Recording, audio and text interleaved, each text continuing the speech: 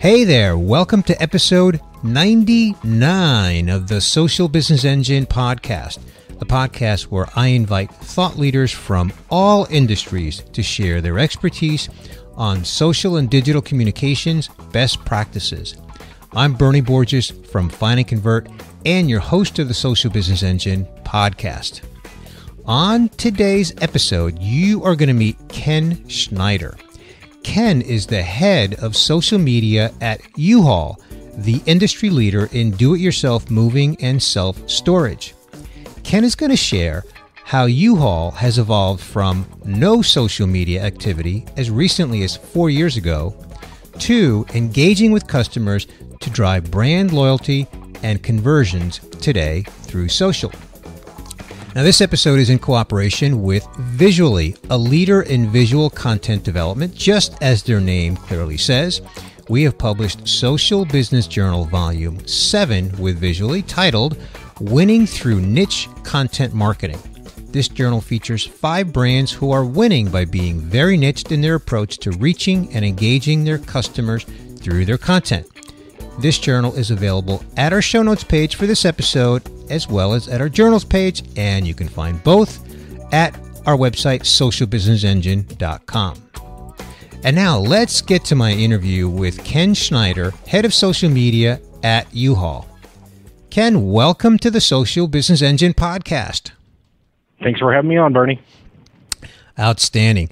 Well, Ken, as you know, the way that we got together is when uh, our mutual friend Brianna Jacobs, who is uh, the producer of the Social Media Strategies Summit, when she arranged for me to speak at their event in Vegas, I saw that you were also speaking at the event, and I wanted to learn more about how U-Haul is a social business. So, Ken, let's start with the backstory. When and how did U-Haul make the decision to become active on social? So, Bernie, we're you know we're a 70 year old brand. We started in 1945. Our founder L.S. Shoen was a um, Navy veteran coming out of World War II.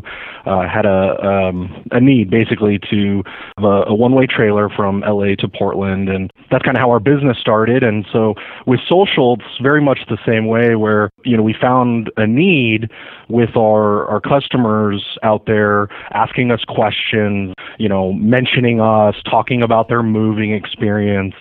So a little over four years ago, uh, we really weren't on social media. We we obviously had the cha- you know we we had the profiles and and that sort of thing, but we really weren't active and engaged um, on the on the on the channels. And so we uh, my predecessor really kind of started social media here and and grew it to what it is today where we have dozens of thousands of messages coming in uh, every month uh, especially during our busy season where it reaches over uh, 20,000 inbound, inbound messages that we have to respond to tag and uh, respond to with you know whatever the question that they may be asking. So in part of that backstory, by the way, Ken, I didn't know the, the, the origin of the company. That's a really cool story. Uh, appreciate you sharing that. Yeah, because I'm sure a lot of my listeners didn't know that, and it's always cool to to learn, you know, the origin of a 70 year old brand, right?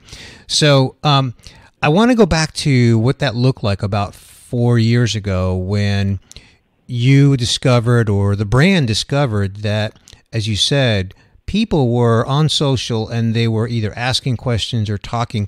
Was it, and I don't mean to be flippant here, but I mean, was it like one day all of a sudden somebody realized, holy cow, we've got people tweeting us or, or, you know, talking to us on social and nobody's listening here? I mean, was it a, like an overnight, you know, awareness thing or did, how did that happen? You know, elaborate on that a little bit. Yeah. So it, I, I do kind of think yes, it is a little bit of an overnight, you know, realization of that. Um, but it but it's it was natural, it was organic. I mean, we had people um, monitoring and you know, po- um, not posting things on the channels, but um, we have uh, like our local pages, and so we had the profiles, but nobody was really looking at you know are our customers talking to us are they asking these questions so it was kind of like this overnight thing like okay, we need to do something about this. And, um, you know, we had to kind of regroup and bring some tools in that allowed us to manage all of those mentions and those questions that were coming in. And was there any kind of resistance to it at the management level? I think no, uh, there was not. Uh, mainly because you can easily see when you're talking several thousand uh, questions in a month. Uh, management's pretty easy uh, to to put some resources behind it and make sure So- our customers are taken care of. So maybe it was the opposite. Maybe management was saying, "Hey, we really need to get our, you know our arms around this." Correct. Yeah. Yep. Okay. Cool. So then, talk a little bit about your approach. You know, you've got this audience of do-it-yourself movers, and so what, what's your voice been like in reaching and engaging your audience? So we have we try and create content or our posts are always trying to help our customers. Uh, we do a lot of helpful tips and you know moving hacks, things like that. So how we kind of manage that, we have essentially three different teams broken down. Uh, we have our social cares team, which handles all of our inbound messages from the, the questions and complaints, uh, jokes, all of those things that are coming in. They kind of tag them and, and dis- distribute them appropriately.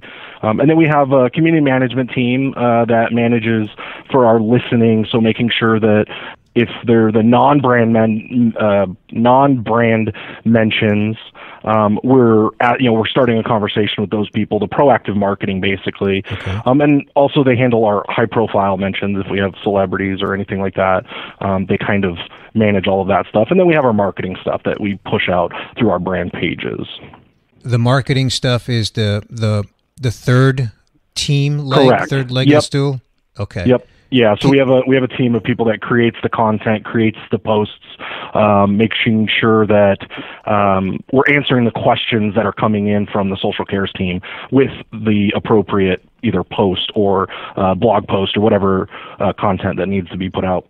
Okay. Since you've been at this for roughly four years, um, is it safe to say that there's been a learning curve for you know you and the team, right? Um, first of all, would you agree with that? And and and secondly, and if you don't, then just you know by all means say so. But if you do, if there has been a learning curve, can you talk a little bit about what it is that you've been learning on this journey?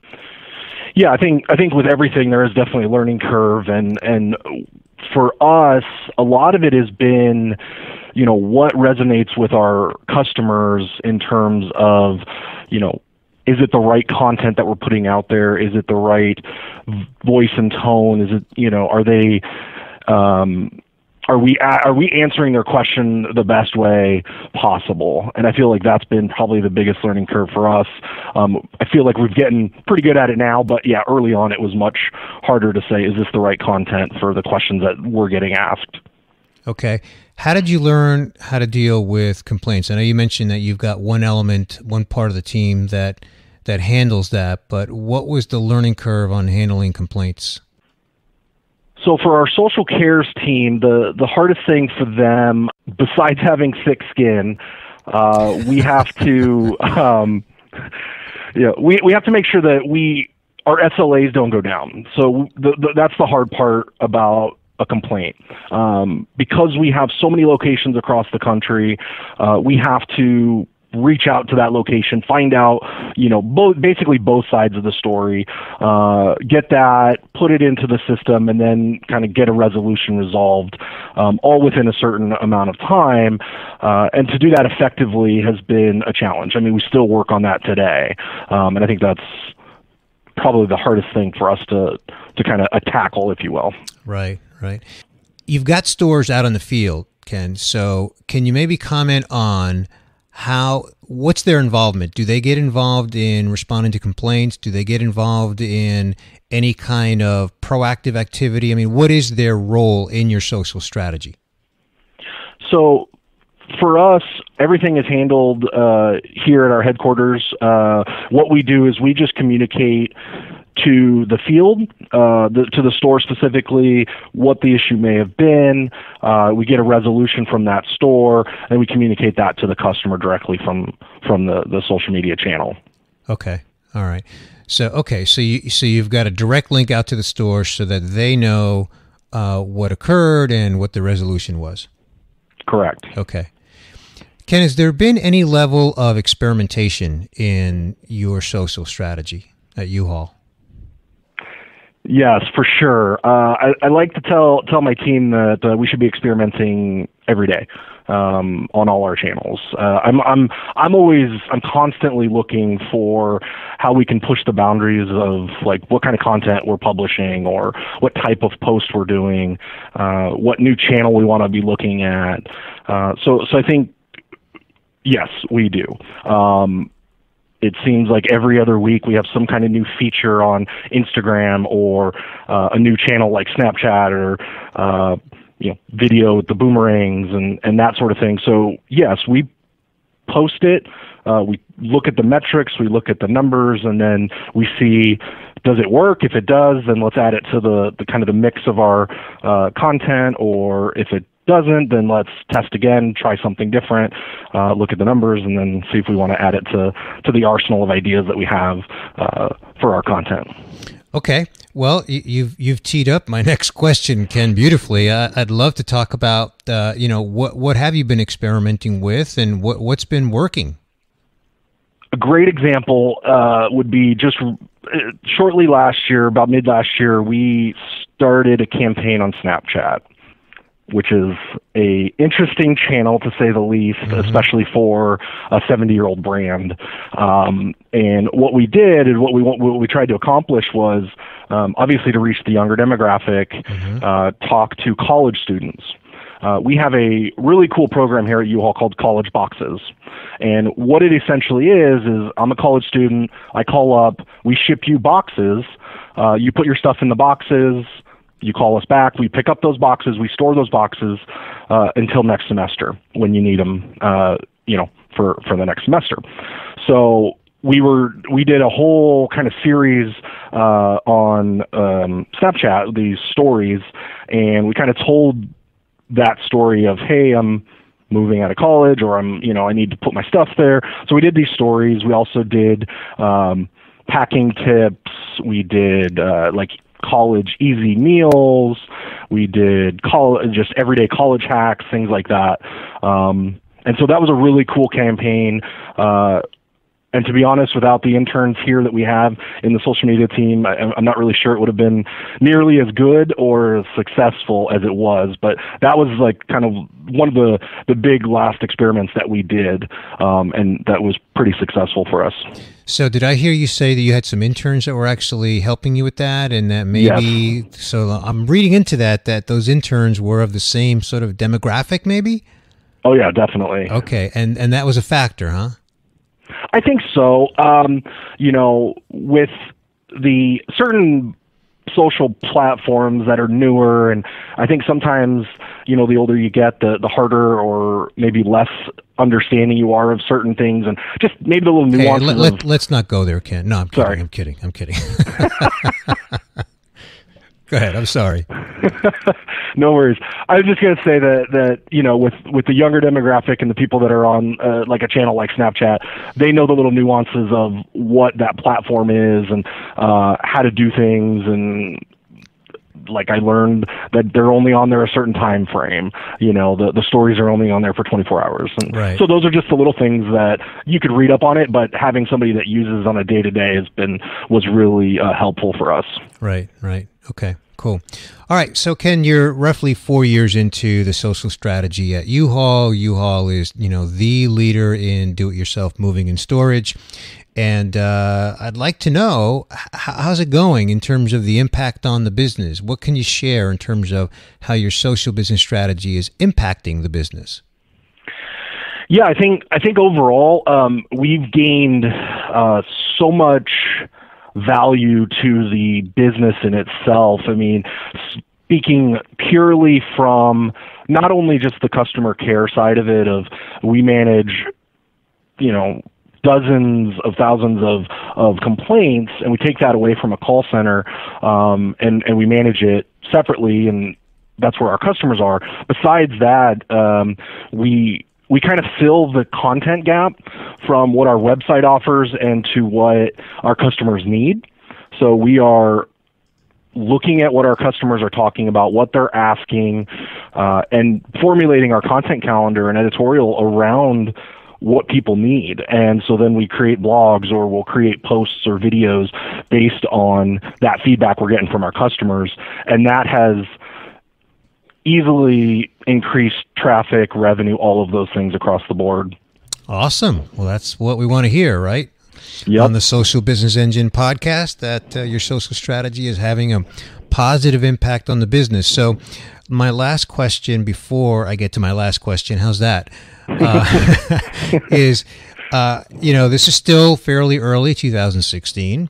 So, uh, what do you anticipate this year? Is it kind of more of the same, or do you have any kind of big plans that you're able to talk about? Uh, just what's going on for 2016? Bernie, if I knew that, uh, I would. Uh, that would be great. No, um, 2016 I think is going to be a really important year for us, mainly because we've seen a lot of growth, um, and I think we're getting to a more mature stage in the in the social media world.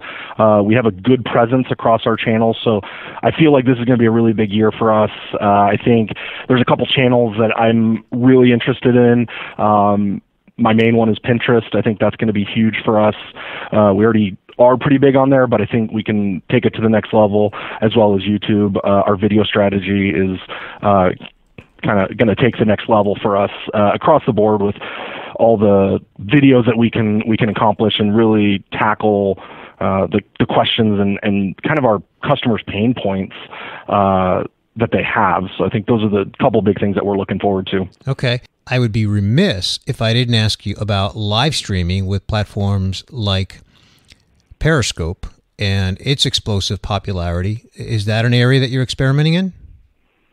We did actually do a couple experiments with Periscope um, on some of our live events. We had a um, a partnership that we did a a local uh, whole party type thing, and, and so we we did do a little bit of that, and we had some really good engagement there. Um, I think I struggle from the way our brand is to find value in the live streaming aspect. Um, so I'm not sure if we're going to really dive a whole lot more into that at, at this point. Okay. All right, cool. Well, you know, I'm really glad to hear that actually, because just because it's a shiny new object and it's really popular, you know, if you determine that it's not having, it's not relevant and not a good impact on the business, then that's the the best reason not to uh, spend time on it. So that's awesome. Exactly. All right, so Ken, we are at the point in the podcast where I will review my summary of the conversation, and then I'm going to ask you at the end of my summary to elaborate, clarify, fill in any holes, or just otherwise uh, correct anything that I may have misstated in my summary. Ready? Yep. All right. So we began this conversation with you describing a little bit of the origin of U-Haul, a 70 year old brand, and how you realized about four years ago that customers were already talking to you on social media, but the brand didn't have a presence, an active and organized presence. No one was really closely monitoring or responding to uh, activity on social media. So uh, a team was assembled and you began to really focus on it. And you talked about how you started to create content that was really focused on being helpful to your audience. And um, you've assembled three teams that handle your social strategy. You said that one of them is a social care team where they're handling questions and complaints.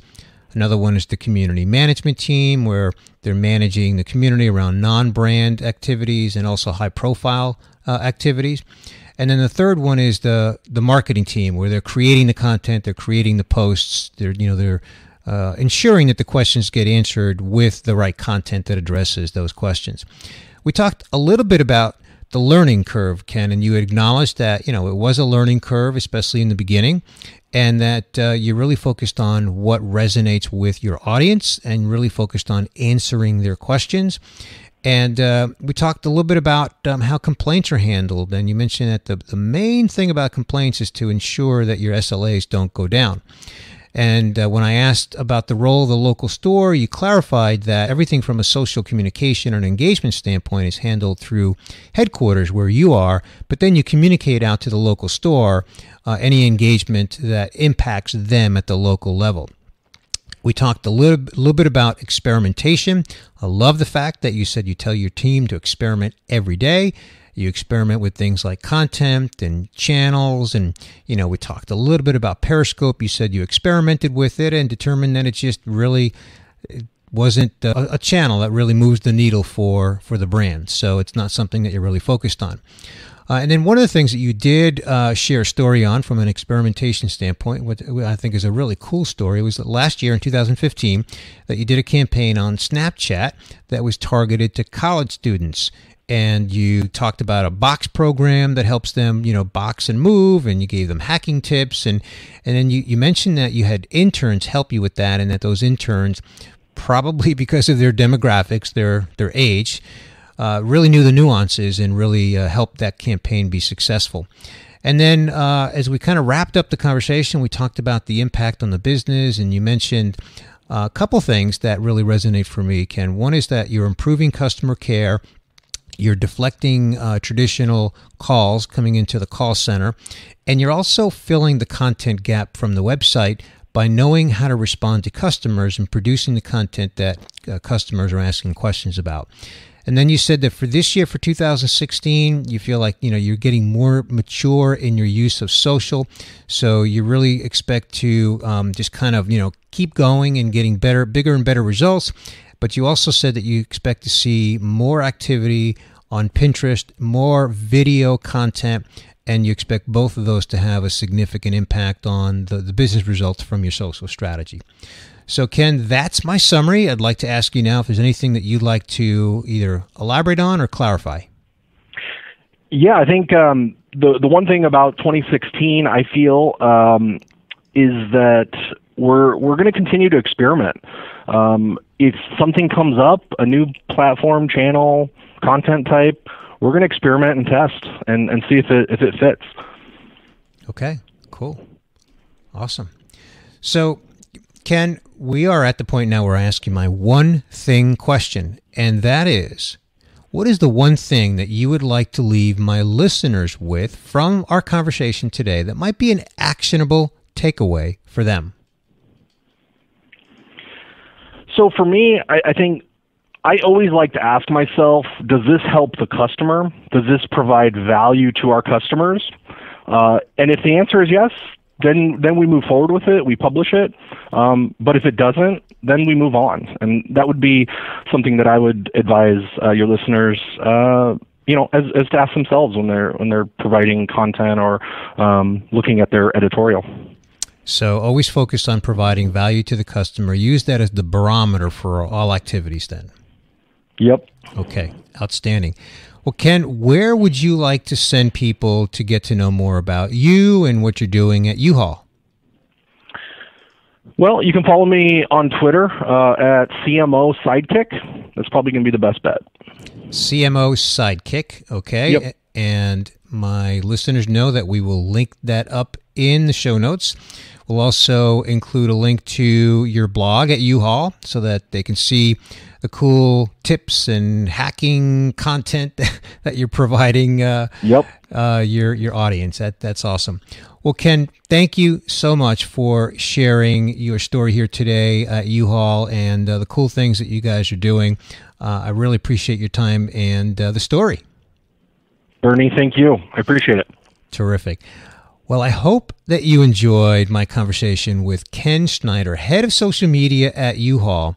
And before we sign off, I do want to remind you that this episode is in cooperation with Visually, a leader in visual content development, just as their name says.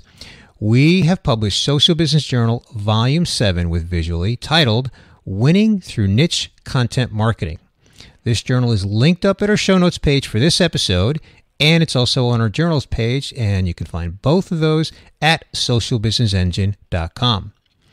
If you are subscribed by email to get our weekly podcast updates that we send every Friday, then that journal has already hit your inbox. And if you're not subscribed and you'd like to be, then just visit our subscribe page at our website at socialbusinessengine.com. And if you are a regular listener to our podcast, thank you. I really appreciate you. If this is your first time listening to this podcast, well, thank you as well for listening, and I hope you enjoyed it And I hope that you'll push the subscribe button on your podcast player so that you get each of our weekly episodes on your player delivered auto magically, as I like to say. And I would really be grateful if you would consider writing a review in iTunes so you can share your sentiments about the podcast, maybe tell us, you know, what we can do differently and just help other people discover our podcast. We've got a direct link to our podcast in iTunes at our website at socialbusinessengine.com slash iTunes.